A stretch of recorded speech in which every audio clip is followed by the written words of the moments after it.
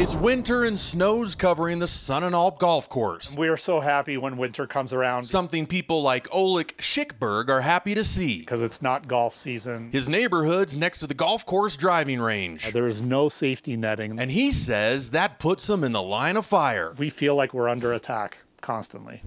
With golf technology improving, Oleg says they've gone from a few golf balls flying into their yards They come at different speeds, different trajectories. to a few hundred, Ricochets off the our rocks back into our homes. breaking windows, hitting cars, and sometimes people. We have had residents that have been hit.